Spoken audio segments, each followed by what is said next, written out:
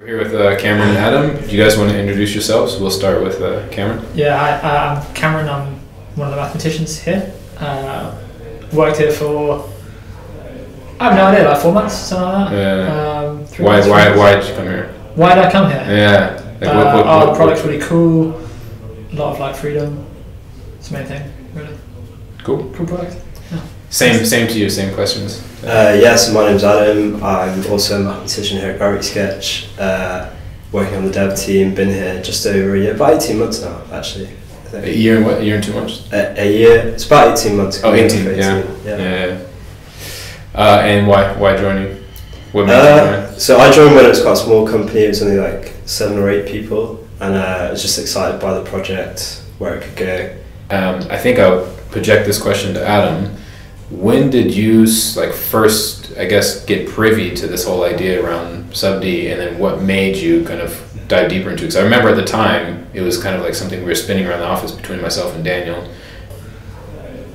Yeah, so I think it, it's something we, we talked about since I joined. Really, it's one of the most widely used modelling techniques, and uh, we always thought it would be cool if we could try it. Uh, and yeah, and then we got to the end of the Quest project in around early June, and then suddenly I was free. I didn't have a project to do. I just sort of picked it up and run with it, run with it, and see like it's taken us like six months to get this far. Cool. with. I remember when I first came to the office, you and Daniel were talking about it, and us going for a coffee, and Daniel was incredibly excited, well, incredibly keen on it. Talked as if it was something he really wanted to do. So Mm. Yeah, it's, it was always something we were going to try. I think, Mm. and uh, yeah, just freeing up the dev time for someone to have to have a good run at it. And, and when did it f- formally kick off?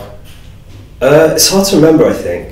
Uh, I think it was maybe that early July was Mm. when we got when the first line of code was written, Ah, okay. and then yeah, It's less than six months. yeah, Yeah, I think it was. It, It was you must have come in in June, yeah, yeah. and then pretty soon after we started.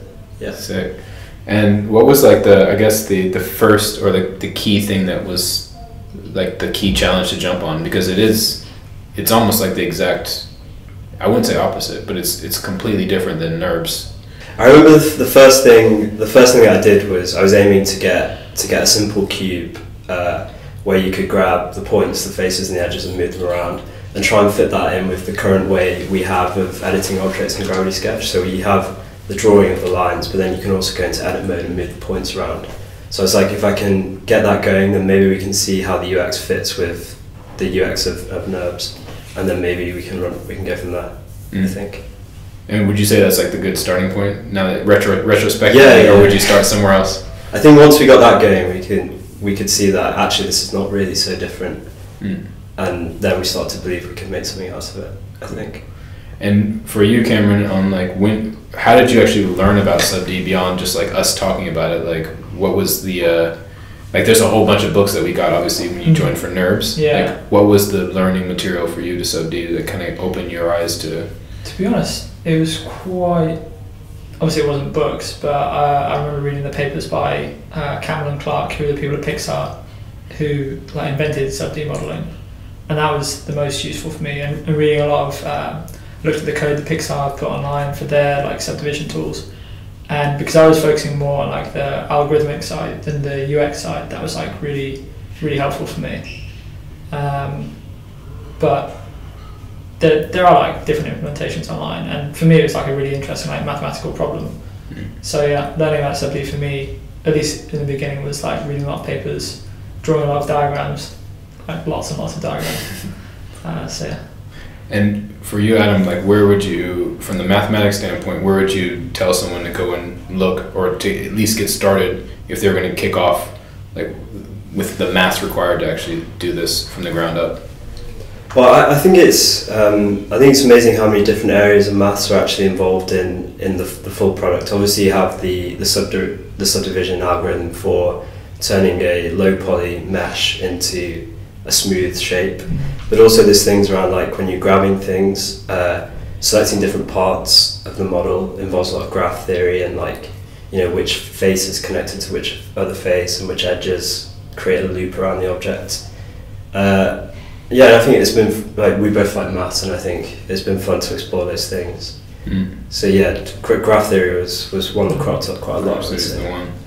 So for this, um, I'm going a little bit off script here, but for this particular project, it required a lot of UX. So you mentioned a little bit about like respecting the existing Gravity Sketch UX, but there's also a boatload of stuff that I personally found that I was kind of quite surprised, like stuff that we had never seen before.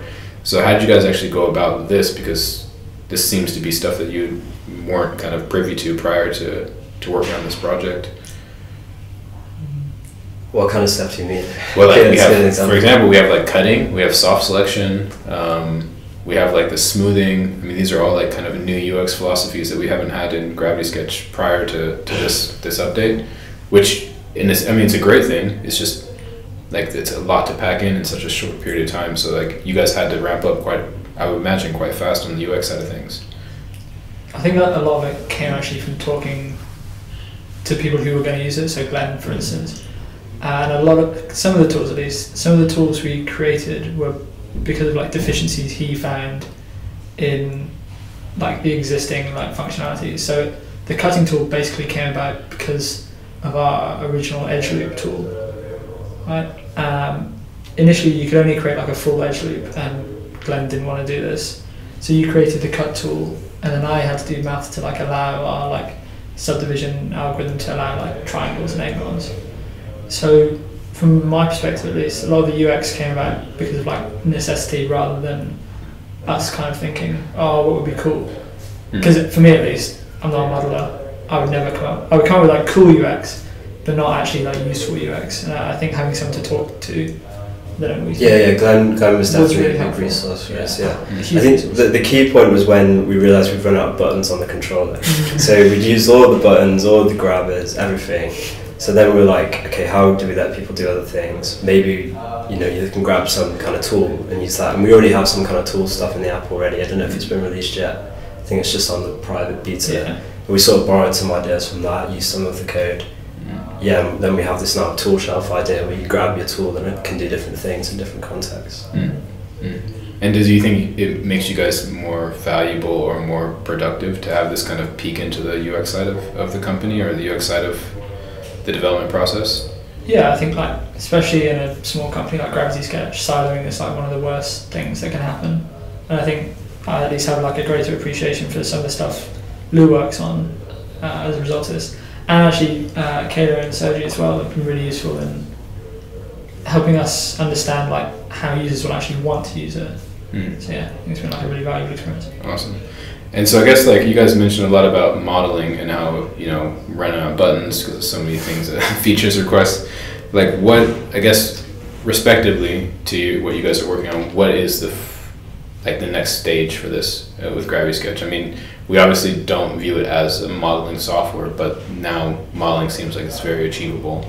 Where are we going to go next with SubD from your guys? What do we do next? Like, Like- as in the feature set? Or? in terms of the feature set, in terms of what we're going to add, in terms of where do you think it's going to go, how do we stay true to our, our company values? Um, you know, what, what, what is your guys' take on this? I, I'm, I'm personally curious to, to this extent as well. Well, I think in terms of what we're going to build next from it, we're just going to listen to the feedback that we get from the beta and from the main release, and like mm-hmm. whatever whatever the heavy users want, we'll, we'll look and see if that's possible, and yeah, just try to please the people using it.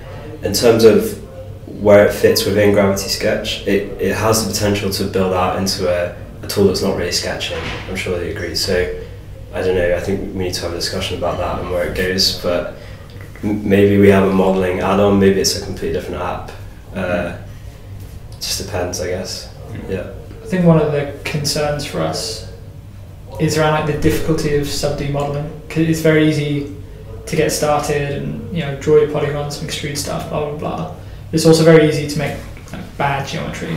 Very easy to get stuck. It's really easy to like get yourself in a in a corner.